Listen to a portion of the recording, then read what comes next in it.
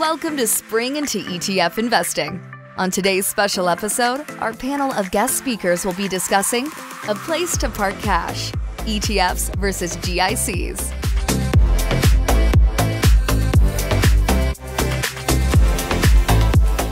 Welcome to Spring into ETF Investing, a special edition of ETF Market Insights. I'm Erin Allen, VP of Online Distribution with BMO ETFs. A quick reminder today we're not providing you investment advice or recommendations. Our channel is all about providing education around investing and around ETFs focused on the Canadian do it yourself investor. I'm going to turn it over to our special guest host for today's session, Pat Bolland. Pat is the host of the Just Word podcast, which covers topics within finance, investing, and much more. He's also a television personality and expert host. Happy to have you, Pat. Take it away. Welcome to ETF Market Insights. I'm Pat Bolland. In this episode, we will be discussing the recent shift to cash by investors. Why are they doing this? And what should investors consider when looking to add to a cash position in their portfolio? What are their options? GICs, HISAs, ETFs. And I'm joined by Matt Montemurro. He's the Director, Portfolio Manager with BMO ETFs, responsible for fixed income ETFs.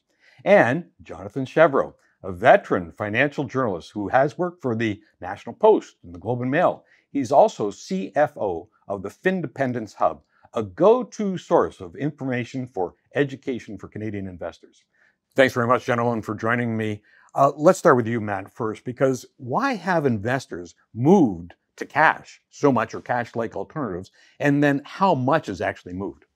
So 2022 was a challenging year for all asset classes. It was only the third time in 150 years that we saw both stocks and bonds have negative calendar year returns. So to avoid that volatility, we saw a lot of investors move to the sidelines, take their money out of the market and try to wait until some of the risks subsided. And at the same time, you know, we saw the Bank of Canada raise rates from 25 basis points to 450 basis points in a single year. So not only were they taking risk out of the market, they were getting paid to do so. And we've seen as as we've moved into 2023, we've seen investors say, you know what, I'm getting paid to sit in cash take very little to no risk, and I'm getting paid four to five percent yield for it.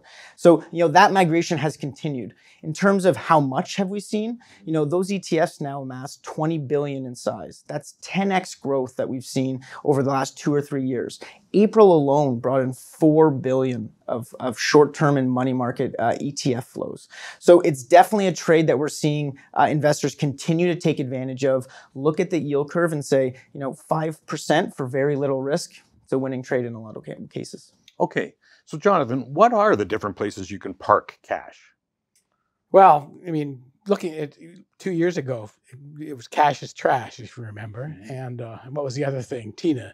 There was no alternative stocks, which is pretty stressful if, like myself, and a lot of people who read what I write about, because I write a retired money column, uh, retirees are pretty frustrated having to take risks that they didn't really want to take. And, and now, as Matt points out, if you can get four or five percent, where you, you basically got zero on a bank account until about 18 months ago.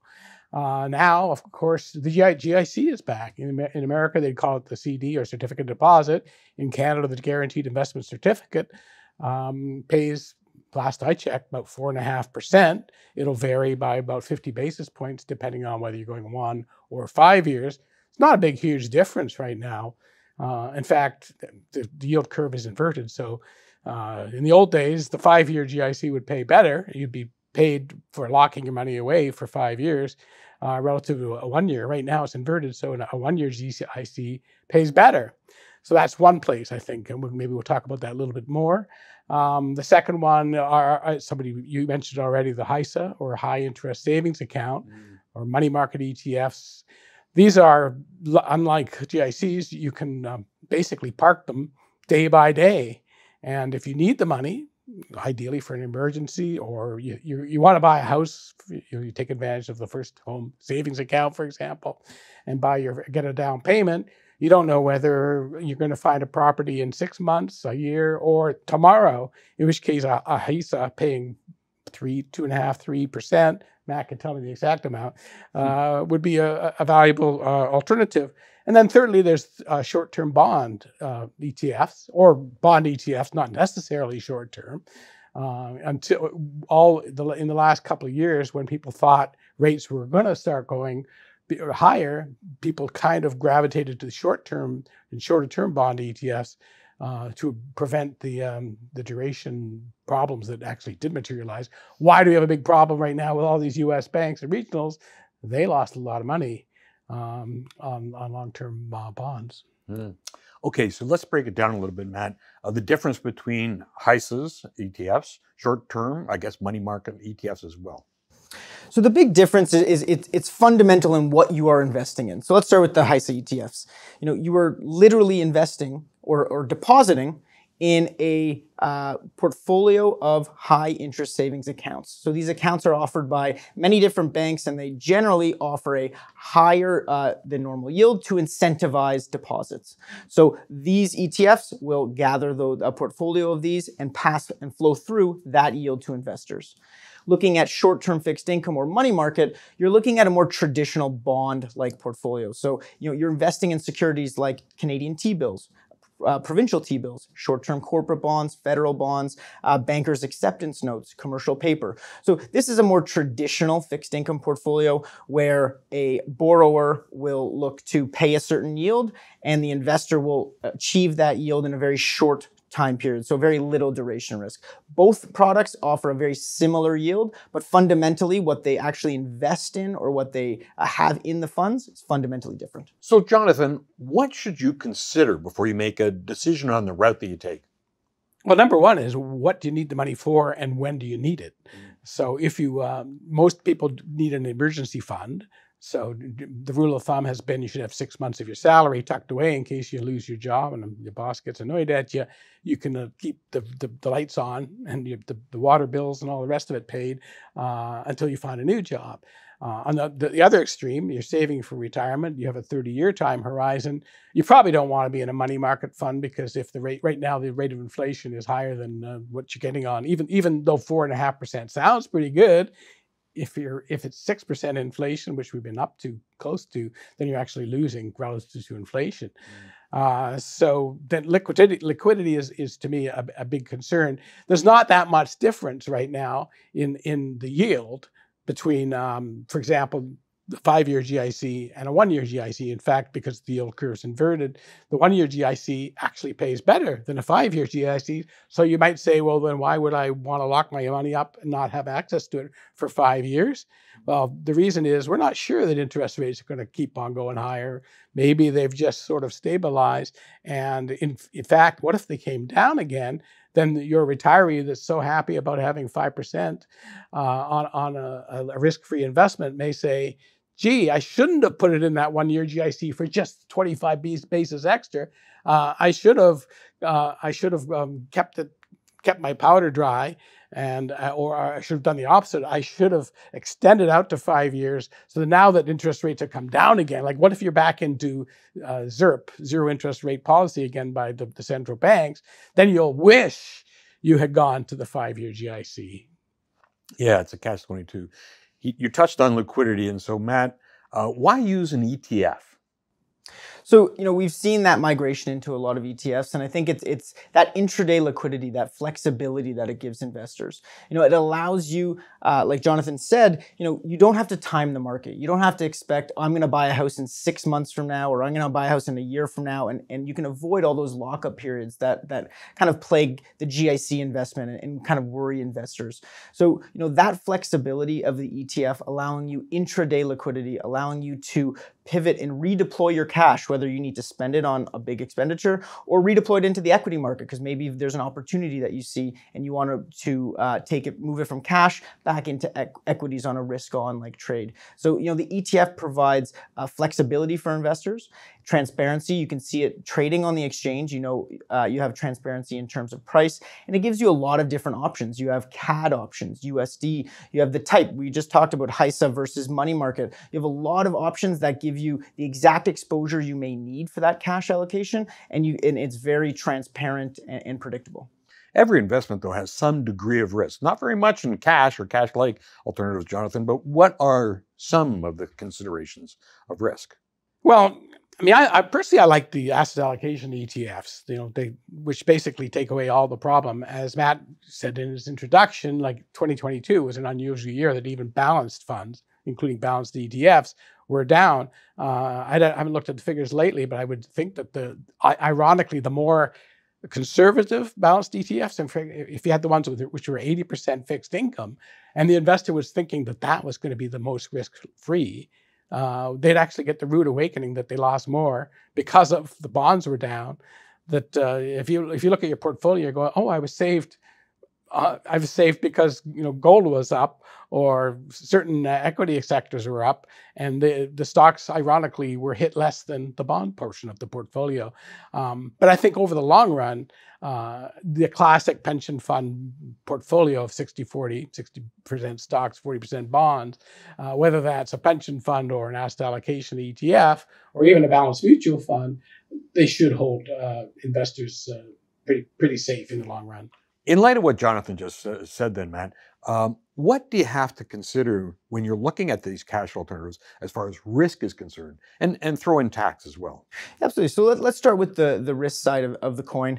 Um, you know, you're looking at lockup periods. That's something to consider. You know, you don't want to lock away your capital for too long. And if you do, you know, if the market changes, if opportunities come, that if, if your money is locked up, you're, you may not be able to take advantage of those opportunities. So that's something to consider when looking at a GIC that may have a longer than a you know, uh, six month, 12 month, 18 month lockup period, that's something to consider.